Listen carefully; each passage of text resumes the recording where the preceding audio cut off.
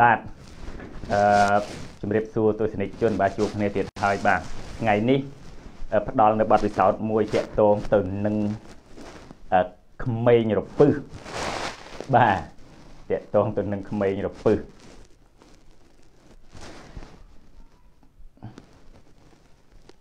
អឺខ្ញុំជឿថាពុកម៉ែបងប្អូន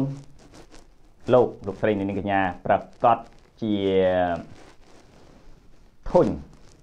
បាទឪពុកលោកឪពុកអ្នកម្ដាយមួយចំនួន បាទប្រកាសជាមានការធុញទ្រាន់ខ្លះនឹងក្មេងៗនិងកូនកូនតូចដែលរពឹសបាទក៏ប៉ុន្តែបើយើងគិតមើលឲ្យមែនទែនទៅ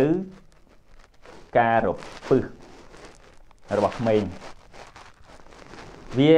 បង្ហាញនៅអត្តចរិតនិងលក្ខណៈ ពិសេសមួយ ដែលធ្វើឲ្យយើងយល់ពីក្មេងនោះវាជាសញ្ញាណដ៏ល្អសម្រាប់ក្មេងនេះទៅវិញទេ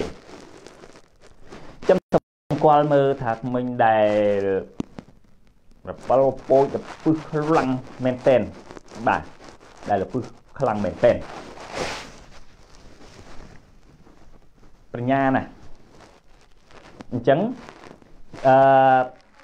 ដើម្បីដោះស្រាយនៅបញ្ហាទាំងអស់ហ្នឹងតើយើងគួរតែធ្វើដូចម្ដេចយើងគិតថាកូនក្មេងនៅតូចតូចភាគច្រើនគេចូលចិត្តនៅអ្វីដែលថ្មី បាទគេចូលចិត្តណាស់នៅអ្វីដែលថ្មីថ្មីតែម្ដងបាទឲ្យតែមានអ្វីដែលថ្មីប្លែកគឺគេលេងហើយគេចូលចិត្តអញ្ចឹងតើយើងធ្វើម៉េច ដើម្បីដោះស្រាយបញ្ហានេះតើយើងត្រូវបញ្ឈប់សកម្មភាពរបស់ក្មេងនោះមិនឲ្យលេងឬមួយក៏ធ្វើយ៉ាងណាបើសិនជាយើងគិតមិនដល់យើងប្រហែលជាចង់បញ្ឈប់បាទចង់បញ្ឈប់នៅសកម្មភាពរបស់គេមិនឲ្យគេទៅពឹសមិនឲ្យគេលេង តែការគិតនេះវាខុសបាទវាខុសតាមការពិតយើងអត់ត្រូវអឺបញ្ឈប់សកម្មភាពប្រពៃរបស់គេនោះទេអ្វីដែលយើងគួរតែធ្វើគឺយើងបង្វែរវិញបើយើងបង្វែរទិសដៅវិញបាទយើងបង្វែរទិសដៅនៅអាសកម្មភាពរបស់គេហ្នឹង ឲ្យមកល្អពីព្រោះថាអាសកម្មភាពហ្នឹងគេដូចខ្ញុំបាននិយាយពីដើមអញ្ចឹងគេចូលចិត្តនៅអ្វីដែលថ្មីថ្មីប្លែកប្លែកធ្វើហើយសកម្មភាពរបស់គេទាំងអស់ហ្នឹងវាមានត្រូវមានខុសអញ្ចឹងណាខ្លះធ្វើឲ្យវាគ្រោះថ្នាក់អញ្ចឹងយើងគួរតែបងវាយ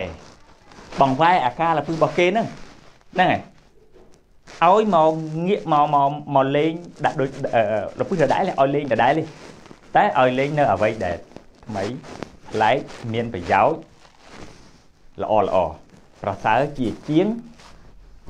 បញ្ឈប់នៅសកម្មភាពរបស់គេនឹងទី1ទី2ប្រសើរជាជាងធ្វើឲ្យគេភ័យខ្លាចរាំងចាលបាក់ស្បាតមិនហ៊ានលេង អឺខ្ញុំឧទាហរណ៍ថាគេលេងអ្វីមួយឧទាហរណ៍ថាគេកាន់កែវទឹកកែវថ្មមួយគេលពឹសគេដឹងទេបាទគេមិនដឹងថាអារបស់ហ្នឹងកាន់ទៅធ្លាក់ទៅវាបែកវាមុតជើងនោះទេវាលពឹសគ្នាទៅកាន់លេងបាទហើយរបស់អស់នេះពេលវាលេងវាធ្លាក់បែកអញ្ចឹងយើងឪពុកម្ដាយយើង ឃើញបែកអញ្ចឹងយើងយើងស្ដីទៅទោសយើងសម្លុតបាទក្មេងទួយទួយអាយុ3ឆ្នាំ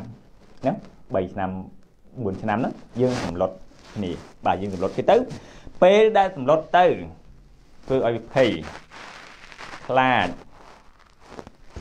អ្នកខ្លះមិនត្រឹមតែសម្លុតទេចែកសម្ដីធ្ងន់ធ្ងន់ដាក់សម្លុតហើយវាយទៀត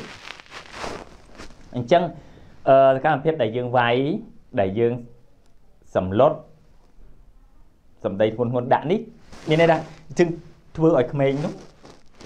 គេខ្លាចអញ្ចឹងគោលបំណងឪពុកម្ដាយដែលគាត់ធ្វើអញ្ចឹងគឺគាត់ចង់ឲ្យក្មេងនោះខ្លាចកុំឲ្យលេងទៀតណាហ្នឹងគោលដៅដែលគាត់ធ្វើហ្នឹងក៏ប៉ុន្តែការដែលគាត់ធ្វើនេះគឺគាត់ធ្វើអត់តន់ត្រូវទេព្រោះថាកាលណាតែធ្វើឲ្យគ្នាខ្លាចបាក់បាទជួបនេះ ស្មារតីខួរក្បាលគ្នាឆាប់ទទួលយកឆាប់ភ័យណាអញ្ចឹងធ្វើឲ្យក្មេងនោះអត់មានអឺយ៉ាងថាអត់មានភាពអង្អាចអត់មានភាពមូសមុតនៅក្នុងខ្លួនទេតទៅពេលថ្ងៃក្រោយឃើញអីក៏ខ្លាចដែរធ្វើគ្នារៀងរៀងចាលខ្លាចលែងហ៊ានតែម្ដងតទៅពេលថ្ងៃថ្ងៃក្រោយកុំថាឡើយអាខែហ្នឹង មានមិនហ៊ានកាន់ស្អីផ្សេងក៏មិនហ៊ានដែរនេះហេតុផលដែលដែលខ្ញុំចង់បញ្ជាក់ថាអឺបើសិនជាទៅពើយើងអត់ដីអត់បន្ទោសអត់ស្រែកចម្លត់អត់បាយទេធម្មតាក្មេងថាធ្វើឲ្យគ្នាខ្លាចគ្នាភ័យវាឆាប់បាត់ណាឆាប់បាត់ហើយឆាប់ទទួលយកណាអញ្ចឹងថ្ងៃក្រោយឲ្យ កុំថាហ្នឹងថ្ងៃក្រោយឲ្យធ្វើអីក៏មិនហ៊ានឲ្យធ្វើអីក៏ខ្លាចដែរទៅជាក្មេងដែលខ្លាចគេដែលសុញដែលអៀនដែលមកចប់អញ្ចឹងវាពិបាកបាទតោះឥឡូវដើម្បីអឺដោះស្រាយនៅបញ្ហាហ្នឹងតែយើងធ្វើម៉េចទីមួយយើងឃើញថាក្មេងវាចូលចិត្តលេងទូរស័ព្ទសម័យនេះចូលចិត្តលេងទូរស័ព្ទឲ្យតែទូរស័ព្ទរបស់ម៉ាក់របស់ប៉ាគេ ដែលទិញមកថ្មីថ្មីភាកច្រើនខូចបែកអេក្រង់ឯនៅសារគេហ្នឹងបាទពុកម៉ែបងប្អូនសម្គាល់ឃើញចឹងហ៎តិចបែកអេក្រង់តិចអីនោះសារតែតែកូនតូចហ្នឹងហើយគេចូលចិត្តលេងថាឥឡូវនេះគេចូលចិត្តលេងអ្វីដែលប្លែកអរមានភាគច្រើនគឺទូរស័ព្ទហ្នឹងឥឡូវហ្នឹងវាមានចម្រៀងមានអីផ្សេងផ្សេងមានតុក្កតាមានអីលេង អញ្ចឹងអឺយុទ្ធសាស្ត្រដើម្បីដឹកនាំក្មេងល្អហ្នឹងហើយកុំឲ្យខូចរបស់យើងយើងគួរធ្វើម៉េចមិនទៅធ្វើស្អីមួយប្រាប់ឲ្យគ្នាភ័យខ្លាចយ៉ាងថ្ងៃក្រោយរៀងចាលវាបាក់បាក់ស្មារតីវាស្លុតទៀតឲ្យស្លុតទេអញ្ចឹងយើងគួរតែក្មេងលេងទូរស័ព្ទក៏លេងចោះឲ្យគេលេងទៅក៏ប៉ុន្តែ យើងកុំទិញអាទូរស័ព្ទដែលទំនើបទំនើបថ្មីថ្មីនឹងឲ្យលេងវាស្ដាយវាខាតតែធ្លាក់តែតែលេងតែតិចធ្លាក់បែកឯងអញ្ចឹងយើងទិញអាទូរស័ព្ទណាដែលធូរថ្លៃដែលធ្លាក់មិនបែកហើយកុំជាប់អ៊ីនធឺណិតណាកុំជាប់អ៊ីនធឺណិតតែយើង យើងទិញហើយហ្នឹងនៅក្នុងហ្នឹងណានៅក្នុងទូរស័ព្ទហ្នឹងយើងអត់បាច់អីយើងទុកតែវីដេអូដែលអប់រំបានហើយណាយល់ទេថាបាទយើងទុកតែវីដេអូដែលអប់រំបានហើយហ្គេមក៏ដោយចុះប៉ុន្តែហ្គេមណាដែលអប់រំដូចជាហ្គេមហ្គេមរាប់លេខហ្គេមអឺអានអក្សរផ្លែឈើពណ៌អីហ្នឹងណាបាទហ្នឹងសម្រាប់ក្មេងហើយនឹងអឺ រឿងអប់រំខ្លីៗរឿងតុក្កតាអប់រំហ្នឹងភាសាខ្មែរភាសាអង់គ្លេសហ្នឹងបាទអញ្ចឹងយើងទៅ download អារឿងអញ្ចឹងអញ្ចឹងឲ្យច្រើនឲ្យច្រើនបាទមេរៀនកខកខង ABC នឹងរាប់1 2 3ណារាប់លេខហ្នឹងបាទយើងទៅ download អារឿងអញ្ចឹងអញ្ចឹងឲ្យច្រើនមកហើយទៅដាក់ក្នុងទូរស័ព្ទហ្នឹងតែកុំភ្ជាប់អ៊ីនធឺណិតអីសោះ ដែរហើយឲ្យគេលេងចុះគេលេងចុះដែរបើសិនជាយើងខាត់មិនឲ្យលេងខាត់អត់បានទេយើងនៅតែលេងតែដដែលនឹងចង់ចង់ចង់ចង់វាខូចទូរស័ព្ទយើងដែលយើងទិញតម្លៃរាប់រយរាប់ពាន់ដុល្លារវាស្ដាយហើយបើយកទៅលេងហើយវាខូចអាខូចរបស់យើងជារឿងមួយយើងស្ដាយមួយតែពីរគឺក្មេងខូចទៀតគឺក្មេងខូចទៀត វាមើល YouTube វាចុចចំរឿងមិនល្អទៅ Facebook រឿងមិនល្អវាចេះទេដែរបាទអញ្ចឹងយើងទុកឲ្យលេខយើងទុកតាអ្វីដែលល្អនៅក្នុងហ្នឹងបាទនេះដំណោះស្រាយបាទព្រោះយើងមិនអាចខាត់ទេខាត់បានទេហើយមួយទៀតផងដែរយើងអឺអាសាធ្វើសកម្មភាពអ្វីមួយដែលល្អល្អឲ្យគេឃើញបាទ យើងដូចជា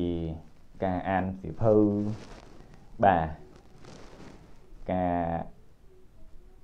អានសៀវភៅឬក៏ការធ្វើអីផ្សេងផ្សេងហ្នឹងយើងអាសា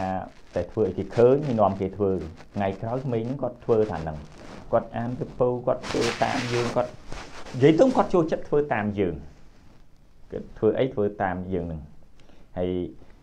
បើអាទូចរបស់ខ្ញុំនេះ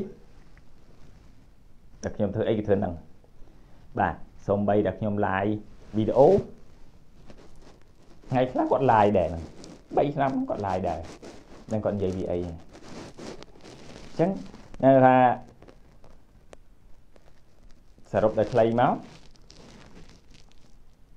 កត្តាដែលក្មេងរពឹសគឺក្មេងល្អតែគ្រាន់តែថាយើងរបស់ណាដែលមានតម្លៃបែបហ្នឹងយើងទុកឲ្យផុតដៃផុតពីអីទៅ អានឹងមួយទី2យើងការដែលគេលេងយើងលើកទឹកចិត្តឲ្យលេងចាស់ប៉ុន្តែយើងបំបែគឺដៅវិញយើងអត់បញ្ឈប់ទេណាគោលដៅខ្ញុំខ្ញុំចង់បញ្ជាក់អញ្ចឹងយើងថាយើងអត់បញ្ឈប់សកម្មភាពរបស់គេទេតែយើងបង្វែរទិដៅសកម្មភាពហ្នឹងឲ្យមកល្អតែប៉ុណ្្នឹងហើយយើងបង្ហាញគំរូល្អទៅបានហើយតែប៉ុណ្្នឹងល្អហើយ